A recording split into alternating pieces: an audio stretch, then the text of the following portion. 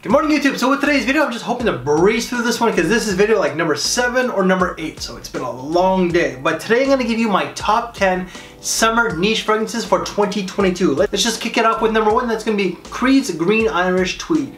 This is classical, vintage, but it's a modern. It's a modern day classic fragrance. This just is so green. It's airy. So you're gonna get ambergris. You're gonna get iris, violet. The violet is what adds that airiness to it, but the, the iris itself does give it a little bit of a powdery undertone. There's musky ambergris and bright, zesty lemon verbena. Oh my god. The two main players I would say would be the lemon verbena but also the violet. Those two notes kind of give it that classical feel but along with the iris. This is a very versatile fragrance. You could wear it casually, but you could also wear it to a semi-formal event. It's a Swiss Army knife, as we call it.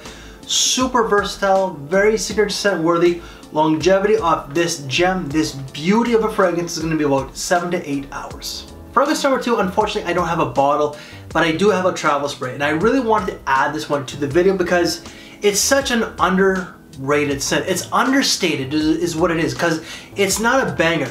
This stuff is more of a banger, especially in the high heat, than this fragrance here.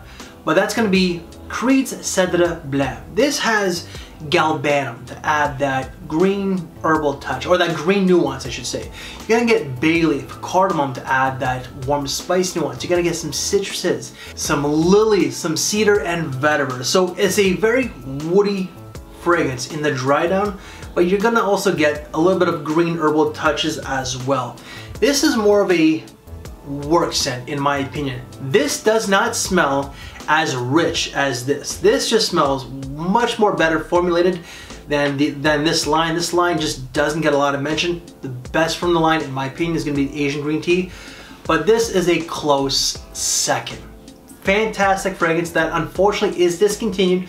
However, you could still get these online relatively easily for about 200 bucks. Longevity is gonna be about seven hours. Fragrance number three is probably my favorite in this list. I recently did a video that's not gonna be out until after, but oh my god, is this stuff so good. Acqua di Parma Chinotto Liguria. Now I know I mispronounced that, but this stuff is just, oh my god, there's something in this that's just, it's so beautiful. Like the, the citrus itself, I believe it's bergamot, but way more Chinotto than anything. That Chinotto is so unique and different. I, oh, that's what really grabbed me. But also, it was the jasmine that that got me as well. So there's like jasmine geranium. Like the white florals itself, don't, please, don't be turned off by that. But the chinotto and the jasmine itself, what a combination. There's also musk, rosemary, patchouli, but I also believe that there's a little bit of woods to it as well. Just a bright, fresh, citrusy scent with clean white florals a little bit of rosemary with a musky dry down. Beautiful fragrance that leans a little bit more femme, but I'm super comfortable enough to wear this. I wish I got an official bottle. This is just like a 30 ml for that I got for a fantastic price. I think I got it for like 35 to 40 bucks. Like this goes for about, I think it was like $70 Canadian for like 100 ml. You can't go wrong with this. This is actually quite versatile. You could wear it to like casually, to work, to a semi-formal event. Longevity for something that's an EDT, or I think it's an EDC, I'm not sure. Regardless, it does not perform like an EDT. I get like eight to nine hours off this gem. Fragrance number four is gonna be Atelier Cologne's Mandarine Glaciale. So you're gonna get mandarin, of course, bergamot, ginger, vetiver, and amber. So what it is, it's just pretty much an ambery, lots of ginger, and loads of beautiful bright mandarin. Very energizing. It's it's casual, it's perfect with a white t-shirt and jeans to a nice polo with, with uh, khaki shorts and loafers. Fantastic. Longevity off this is gonna be about six to seven hours. Five is from a brand that I plug a lot. It's a brand that I love, but it had to make this, this list. Bond number nine is de New York. This has petitgrain, loads of neroli, three different citruses or something like that, maybe four. Uh, it's got white florals, jasmine, lily, gardenia, musk. It is so incredibly bright, creamy, citrusy, florals. It leans more on the, on the on the lady side, but I'm comfortable enough to wear this will do so well in the high heat. It's a great casual scent, but it's also a great office fragrance. Longevity off this is gonna be about seven to eight hours. Fragrance number six is a citrus bomb. Arancia di Capri from Acqua di Parma. This has something like five or different citruses, so lemon, mandarin, bergamot, so on. It's got cardamom, musk, but also a really nice sweet caramel. Caramel is not like, you know, a very common note, but in this it adds a little bit of sweetness to it. It has a little bit of a fun, flirty touch to it. There's no florals from what I remember, but it's just an overly citrusy scent. It's, in some ways, it's like this, but without the neroli, without the jasmine, the gardenia, the lily, all that stuff, right? This is just very bright. It's in your face, but it adds that pep to your step. It's a great casual scent, but it's also a great office fragrance. It is unisex, but I do think that both genders can easily wear this.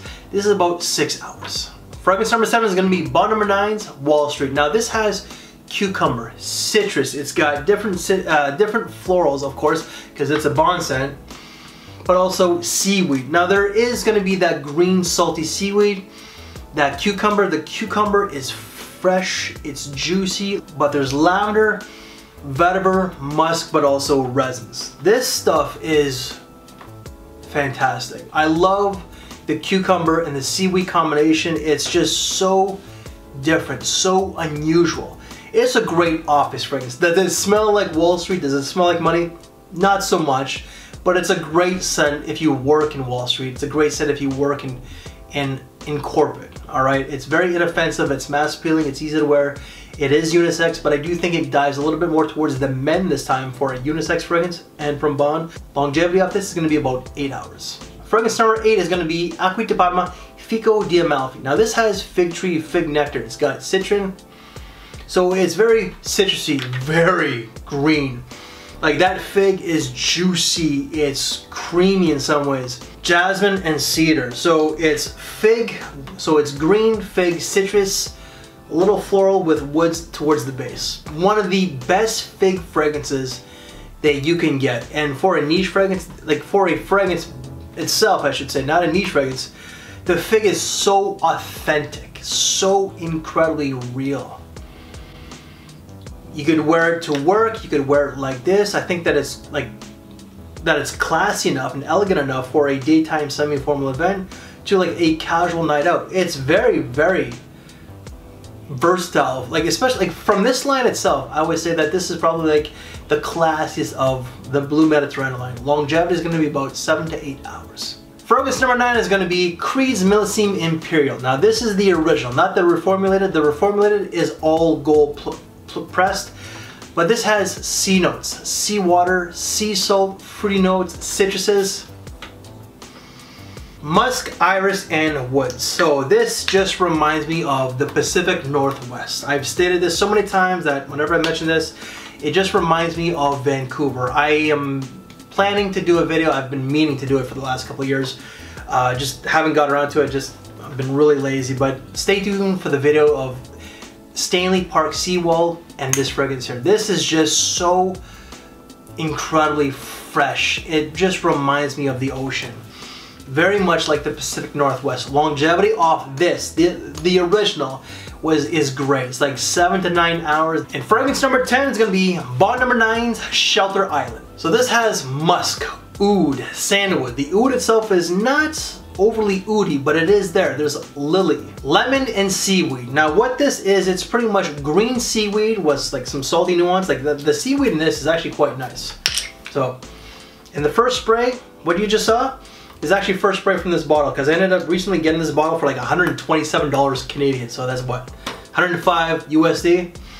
But it's just seaweed, green, musky, sea salty, and woody. The oud itself is not overly oudy at all and I love it. I don't love oud but in this it's done beautifully. This is a great work scent, it's great casually, it's a great weekend fragrance. So let's say that you work in an office. This is your office fragrance. This is your weekend fragrance. Guys, that is it. Oh my lord. Seven or eight videos is what I filmed today. I am done. So you may have seen my energy just, you know, whatever, and my anxiety just from low to high to low to high. I'm done. And that battery's been flashing for the last 15 minutes, so I'm just gonna end it here. If you like this video, please leave me one of these. If you wanna see other videos like this, like other top five, top 10 niche summer videos, they might be a starting lineup. Check out this side here. Any reviews that I've done on these, they will all be down in the description box below. I thank you for your time, take care, and I'll see you later. Thanks for watching everyone.